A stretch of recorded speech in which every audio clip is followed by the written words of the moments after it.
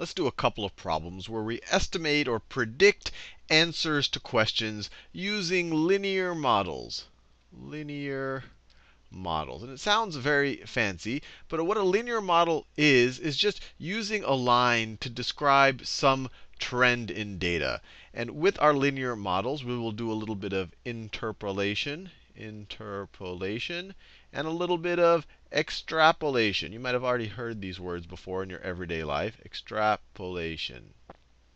Extrapolation. And these interpolation means trying to estimate what happened between two data points. We're going to do a couple of examples of that in this video. And extrapolation means, well, see what the last few data points were and see what that trend looked like, and then keep on continuing that trend and see what might happen if we were if that trend were to continue. And I'll, I'll show you some examples of that. So let's do some example questions here. So I have this chart here. Median age, remember median is the middle. So if I have you know, if I have the numbers 3, 7, and 9, the median is the median is the 7. It's the middle, the middle age. So this is the median age of males and females at first marriage by year. So if we just look at this data right here, if we look at like 1900, the average man was getting married or not the average, the median male. So the middle man was getting married at around the age, looks like at around the age, a little over 25, almost 26, while the median woman, the median woman was getting married, it looks at around 22 or 23 years old. And as we went through the century, those ages got lower and lower and lower until we got to about 1960. This problem is interesting irrespective of the actual uh, problems. It's just interesting to see this trend that uh, at the beginning of the century, people got married, you know, reasonably similar to when they're getting married right now, but there was kind of a minimum point. There was in around the 1960s, people got married at a younger age, and this was true for male and females. And you can also see back here, the age difference between the median male and the median female, that's just gotten smaller and smaller over time. Now it's really small. So these are just all interesting things from this chart. And this is the actual data from that chart. So actually, I didn't even have to estimate it here. In 1900, in 1900, the median male a, the median age of males getting married was 25.9. That's that right there. And the median age of women getting married was 21.9. That's that over there. So this is just a scatter plot of this data. We've just plotted each of these points over here. These in blue, these in red. Now let's do the questions. Use the data from example 1. This is example 1 up here. To estimate the age at marriage for females in 1946, fit a line by hand to the data before 1970.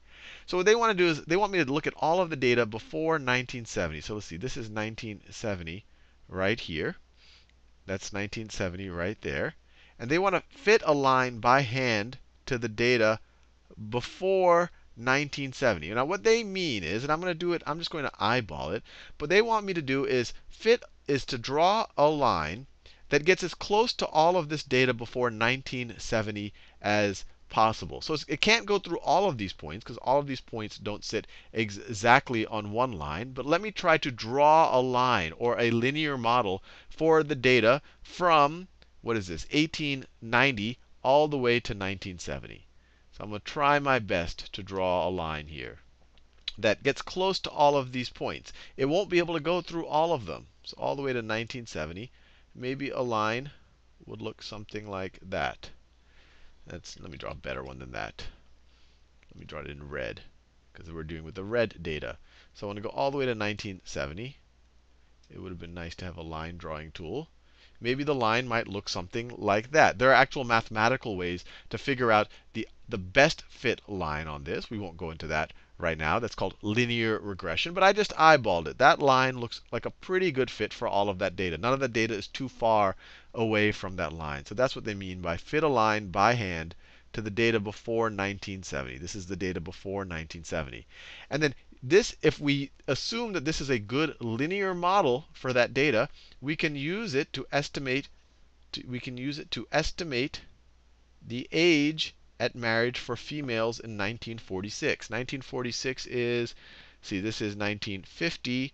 This would be 1945. 1945 would be right over here. So 1946 would be right, right over there. So if we wanted to estimate that, if I were to draw, a, if I were to figure out where that hits the vertical axis, that seems to hit the vertical axis. That seems to hit the vertical axis at around, I don't know, my best guess is, let's see, I should have zoomed in more. It hits it right about there. This is 22 and a half. So this looks like maybe 20 and a half, because this would be maybe 20 and a half years. Maybe, so I'll call it 20.5 years. Obviously, I can't do it exact, but you get the idea. I am interpolating. I am, I am looking at, well, I'm here, I'm using the model to do it. I won't use necessarily the word interpolation yet. We're going to do a much more direct form of interpolation in the, later on in this video. But here I fit a line, and then I just use that line as a model to estimate when what was the median age of women in 1946. Let's do part two. Use the data from example one to estimate the age at marriage for females in 1984. Fit a line by hand to the data from 1970 on in order to fit, estimate this accurately. So now they want us to fit a line from this data on. So let me make a line. So fit a line by hand from the data 1970 on. So let me try to draw a line that gets close to all of these points. That gets close to describing all of these points. Maybe it looks like something like that. Not all of them sit exactly on the line, but they're all pretty close. And if we assume that this is a good linear model, I haven't done it mathematically, I'm just doing, I'm eyeballing it. But let's see what it would be in 1984. This is 1990. So 1984 is going to be right around, right around there.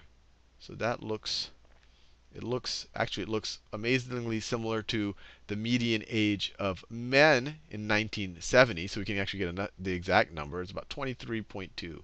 So this looks to be about 23.2. 23.2 years. Now, part three, use the data from example one to estimate the age at marriage for males in 1995. Use linear interpolation. Now we're going to do a more direct form of interpolation. We're not going to use a linear model or we're not going to fit a line. We're going to use linear interpolation between 1990 and 2000 data points. So we're looking at men now, so I'll do it in blue. Between 1990, that is 1990, and that is 2000 for men. So if I were to draw just a line there, we could assume that the trend would have looked something like that between 1990 and 2000. And they want us to interpolate what happened in 1995. So 1995 is that point right there. So this is pure interpolation. We're using the data point in 1990 and the data point in 2000, drawing a line between them, and assuming that 1995 would have been right in between them. We are interpolating between the 1990 data and the 2000 data. So if you were to if you were to try to estimate where that is, it looks like it's a little bit over 26. And actually, if we say that it's right in between these two values right there, it'll be 26.45 years. 26.45 years. If it's exactly in between, 1995 is exactly 5 years from each. So 26.45 looks pretty good. Now let's do another example. So here's a percentage of women smokers by year. And yeah, I have to say these charts are interesting in and of themselves. You know, notice in 1990 there were a good number of women who were pregnant who smoked. Now, almost what 18 or 19 percent of pregnant women smoked in 1990, and now that's down. Well, this is 2004, so uh, hopefully that trend, this trend is continuing to go down eventually to zero percent. But it went down to 10 percent. So there still are a percentage of pregnant women who for unfortunately smoke. So let's use let's do these problems. Use the data from example 2, that's this right here, to estimate the percentage of pregnant smokers in 1997. Use linear interpolation between the 1996 and 2000 data. So 1996 and 2000 data, we're going to use linear interpolation. So let me draw a line. And you could always do this much more exact if you have better tools or a spreadsheet. But I'm going to draw a line, and I want to get 1997. So 1997, 1997, 1997 is going to be right. This is 1997. It's going to be right over there. If we use linear interpolation, we are interpolating between that data point and that data point. It's a linear interpolation. We assume it's a linear trend between the two. And so this looks like it's, uh, let me go all the way over here. Looks a little bit more than 12 and a half, maybe 13, maybe 13% is my best estimate. Now, part five. Use the data from example two, same example right here, to estimate the percentage of pregnant smokers in 2006. There isn't any 2006. This chart ends at 2004. So we have to use linear extrapolation with the final two data points. So this here you're going to see the difference between interpolation and extrapolation. Interpolation, you are estimating between two data points that you already knew. Extrapolation, we're going to take the final two data points and we're going to continue that line. We're going to extrapolate that line. So if you were to just continue this line between the final two data points, it might look something like that.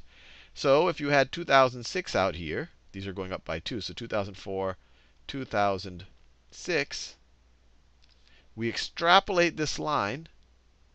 The percentage of women smoking might be, well, it looks a little bit, it looks a little bit under 10%. So maybe 9.5 percent. Once again, it's just an estimate, but we're just extrapolating the trend. We're assuming the trend of the last two data points continues, and then using that, it would be around 9.5% in 2006. Now, maybe, you know, that's not definite, a definite, the only prediction you could make. You could do a lin you could extrapolate based on all of the data and get a line that looks something. Let me try to do it a little bit better than that. That looks something like that. And then this line would predict a lower smoking rate. So it depends on what data you use, what you're using to do your linear model with, and how you're extrapolating it. But anyway, hopefully you found this useful.